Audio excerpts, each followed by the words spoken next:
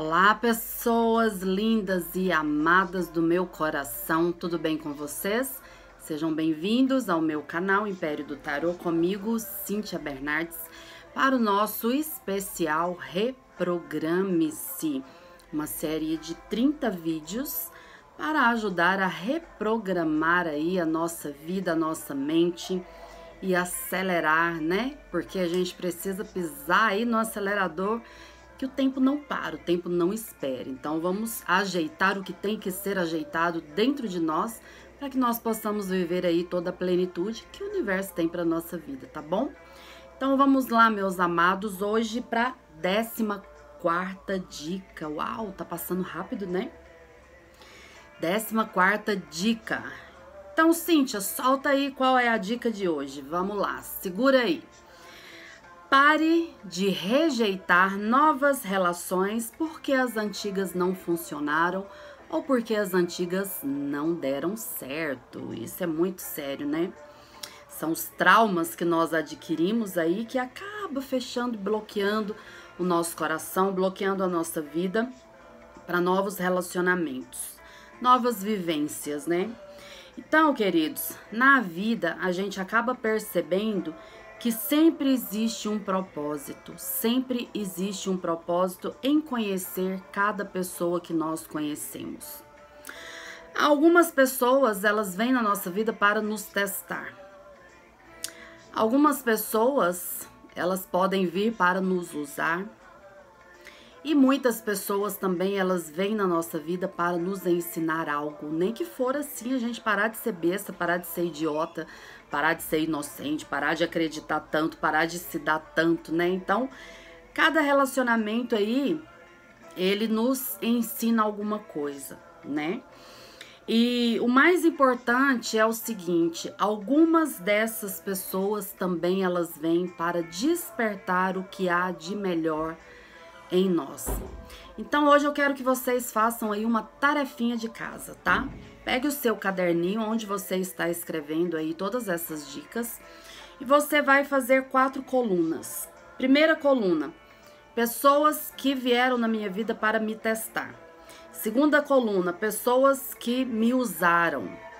Terceira coluna: pessoas que me ensinaram algo. E quarta coluna: pessoas que despertaram o melhor de mim, certo? Então você senta tranquilo, sem pressa, né? E vai lá relacionando. E para cada pessoa dessa, você vai escrever embaixo qual foi a lição que eu tirei desse relacionamento. Qual foi o aprendizado? De repente você até resgatou algum karma e nem sabe, né? E o interessante também é o seguinte: é, não é porque algo não deu certo, né, que isso pode continuar não dando certo na sua vida. Lembrando que semelhante atrai semelhante. Então, se algumas pessoas participaram ou estão participando ainda da nossa vida, foi porque nós naquele momento atraímos aquela energia, atraímos aquela situação, né? E quando nós aprendemos a mudar a vibração para atrair quem verdadeiramente está na nossa frequência, aí acontecem, né, coisas maravilhosas e coisas extremamente incríveis, tá? E eu quero deixar bem frisado aqui na mente, no coração de vocês. Não é porque no seu último relacionamento, casamento, a pessoa te traiu, a pessoa te usou, a pessoa te machucou, que as próximas pessoas também vão fazer isso. Não. Então, assim, absorva, né, a lição daquele relacionamento, mas não feche o seu coração, é, não rejeite novas pessoas, tá? A gente vê muito isso aí em questões de casamento, né? Quando um casamento não dá certo ou quando ele finaliza, é, aí geralmente as pessoas falam: Deus me livre, eu não quero mais casar. Credo, sofri e tal, agora, né? Não quero mais casar. E se você não sabe, o segundo ou terceiro casamento, ele tem muito mais chances de dar certo do que o primeiro, sabia?